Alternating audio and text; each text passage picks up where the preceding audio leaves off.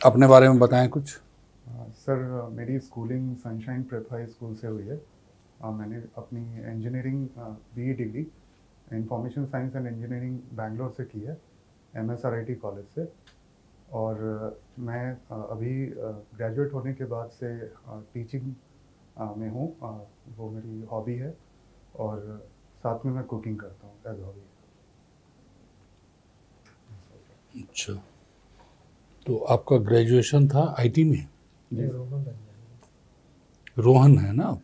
जी sir. हाँ? जी sir. ओह अच्छा अच्छा। आप ये बताइए हमको ऑयल कितने तरह के होते हैं? ऑयल की डेफिनेशन क्या है? Sorry sir physics chemistry exactly नहीं रिकॉर्ड कर पा रहा बैलेंस डाइट किसको कहते हैं? सर जो इम्पोर्टेंट न्यूट्रिएंट्स होते हैं हमारे बॉडी को। क्या क्या कंपोनेंट हैं उसके? Sir vitamin minerals carbohydrates fats proteins carbohydrate का बेस मॉलिक्यूल क्या है? सर कार्बोहाइड्रेट्स एक्चुअली तीन एलिमेंट्स से बनकर मिलकर बनता है। हम्म, कार्बन हाइड्रोजन एंड ऑक्सीजन अच्छा। जी और बेसिक जो बिल्डिंग ब्लॉक है ना वो तो बेसिकली किस चीज़ को कार्बोहाइड्रेट कहते हैं? उसका कार्बोहाइड्रेट तो एक बड़ा क्लासिफिकेशन हो गया। सर कार्बोहाइड्रेट एक्चुअली फ्यूल का काम करता है बॉडी में। हाँ शुगर क्या है? शुगर सॉरी सर ये कहाँ आएगा? कार्बोहाइड्रेट में आएगा प्रोटीन में आएगा कहाँ आएगा? सर मैं श्योर नहीं सर और शुगर कितने तरह के होते हैं? Sir sir number of types याद नहीं है बट कुछ हाँ बताइए। Sir fructose fructose sucrose fructose and और सर ग्लूकोज ग्लूकोज है ना? राइट तो फ्रुक्टोज कहाँ पे मिलता है हमें? सॉरी सर रिकॉल नहीं और सुक्रोज कहाँ मिलेगा? सॉरी सर अच्छा वाइटामस के बारे में बताइए। सर वाइटामस डिफरेंट टाइप्स के हो सकते हैं। हम्म, जैसे ए बी विटामिन सी हाँ तो ए बताइए किसमें मिलेगा हमें? सर ए जैसे हमें कैरेट में मिल सकता है।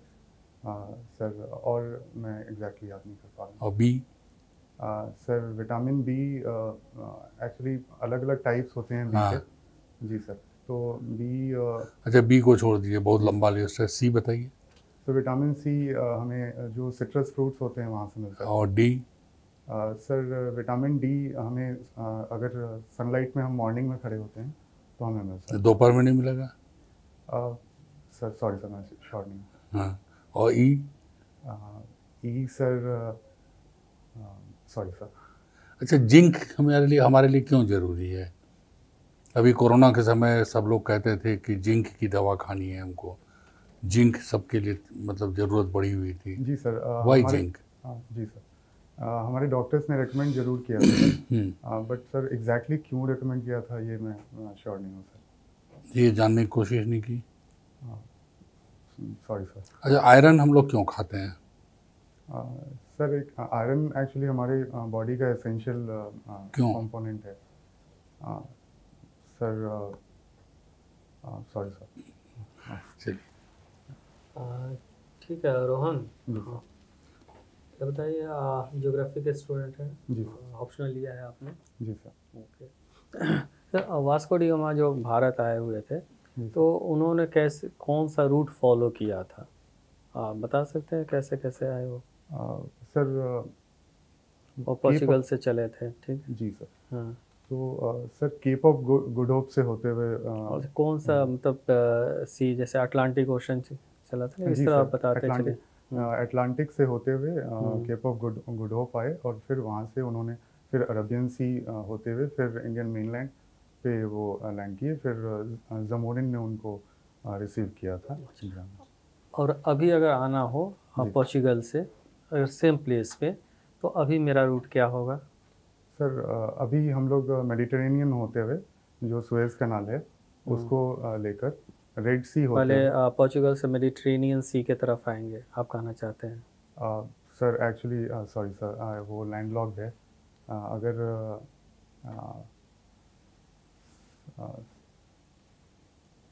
सर मैं एग्जैक्टली रिकॉल नहीं कर पा रहा हूँ कि अच्छा स्वेज हाँ कनाल जो है वो हमारा कौन कौन से सी को कनेक्ट करता है? सर मेडिट्रेनियन सी और रेड सी सर।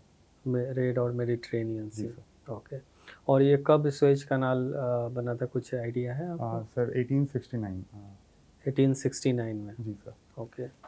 तो अगर अभी यूरोप से जो हमारे ट्रेड होते हैं उसको मेडिट्रेनियन और सी थ्रू स्वेज कनाल आना चाहिए। अच्छा स्वेज कनाल है कंट्रीज़ का नाम बताइए which is situated on the bank of Suez canal sir एक इजिप्ट है सर। एक एक सर जॉर्डन है। और ऊपर सुएज कनाल के जस्ट जस्ट ऊपर हमें इसराइल देखने को मिलता है सर। इसराइल है स्वेज कनाल के आ, सर आ, और जॉर्डन? मैं श्योर नहीं हूँ सर कि इसराइल टच करता है या नहीं। हम्म। बट इजिप्ट के बारे में मैं श्योर हूँ सर। अच्छा। और अभी अभी हम देख रहे हैं ना ब्लैक सी को लेकर काफ़ी चर्चे में है। तो आ, क्या ब्लैक सी के कुछ कंट्रीज़ के नाम बताइए जो ब्लैक सी जिसको टच करता हो? सर एक्चुअली ब्लैक सी का लोकेशन क्या है? ये बताइए पहले। जी sir sir Black Sea actually European region में आता है और यहाँ पर जो कंट्रीज़ इन, इनको टच करती हैं वो हैं जैसे साउथ में टर्की है ईस्ट साइड पे रशिया है नॉर्थ में हमें यूक्रेन मिलता है और ईस्ट में रोमानिया मिलता है सर ओके तो अभी ब्लैक सी वहाँ का स्थिति कैसा है? क्या हो रहा है वहाँ पे?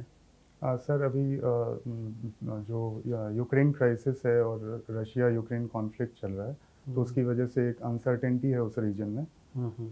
और अभी कोई विराम नहीं लगा है इसका सर अच्छा इंडो पैसिफिक रीजन जो है अ, उसका आप जियो पॉलिटिकल सिग्निफिकेंस बताइए इंडो पैसिफिक रीजन का।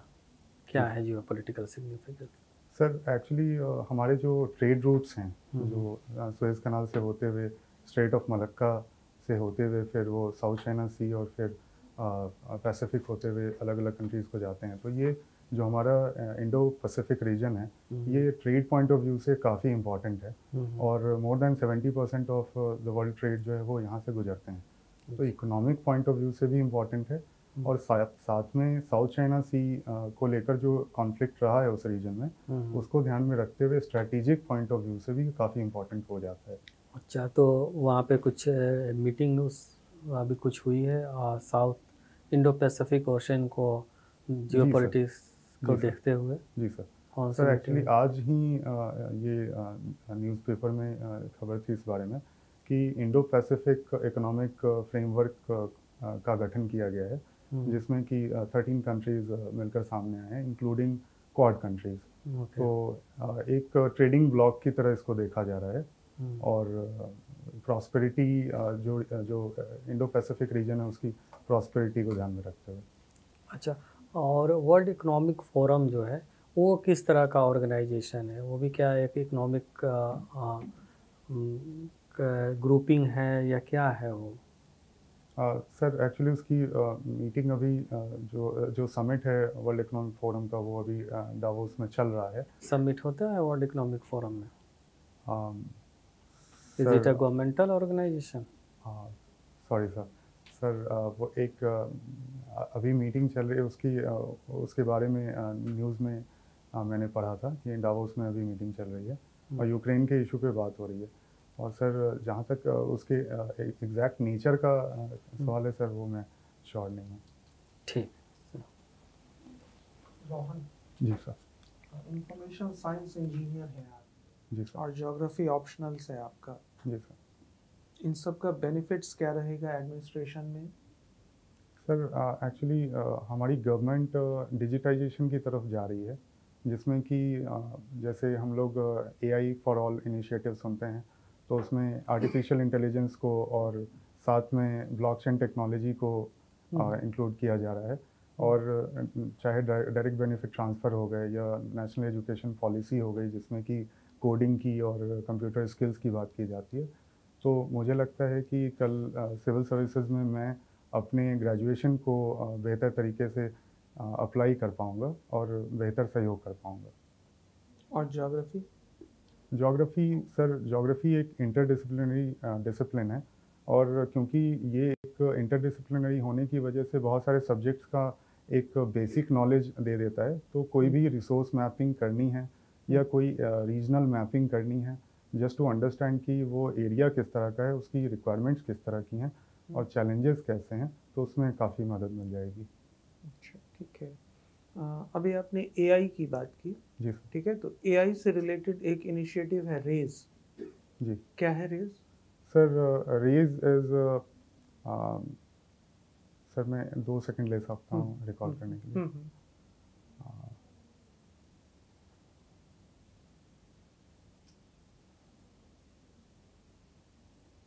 सर सॉरी सर मैं इसका फुल फॉर्म भूल रहा हूँ सर। अच्छा। एम बता सकते हैं? हाँ, क्या है रेज का M it's a kind of mission और scheme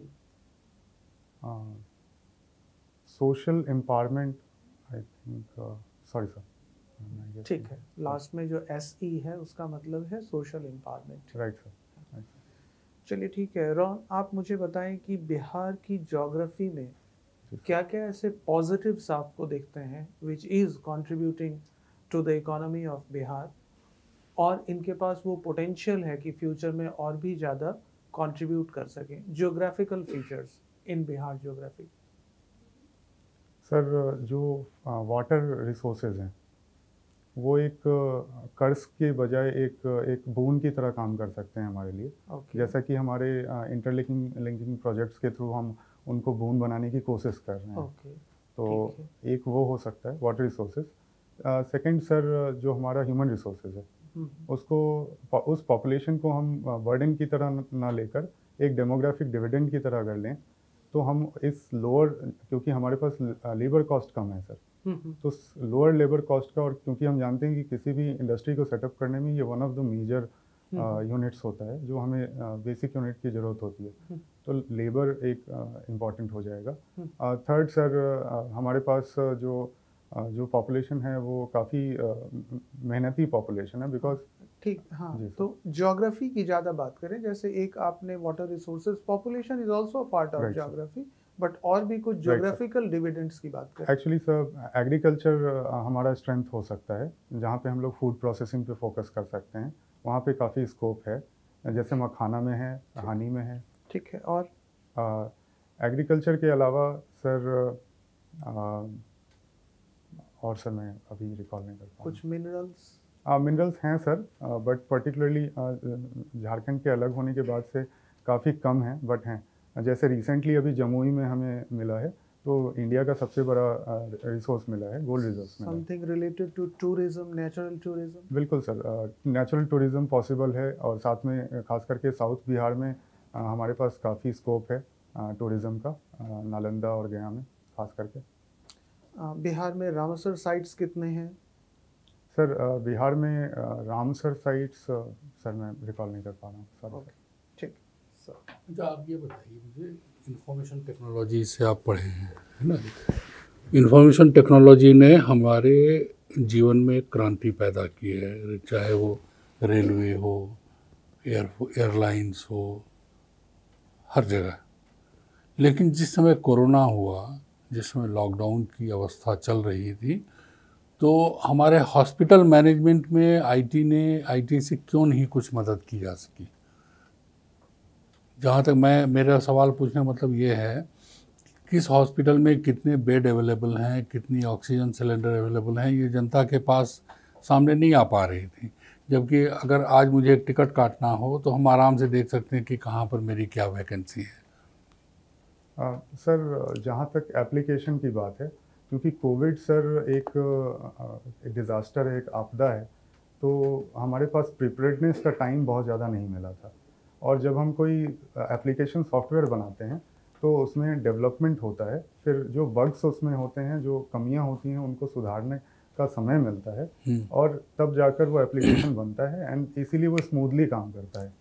तो ये बेसिक डिफरेंस है सर जो जो रियल टाइम इंफॉर्मेशन हमारे पास तो क्या उस समय की जो गलतियाँ की उससे हमने कोई सीख ली है? क्या अभी कुछ हम लोग डेवलप कर पा रहे हैं या किया है?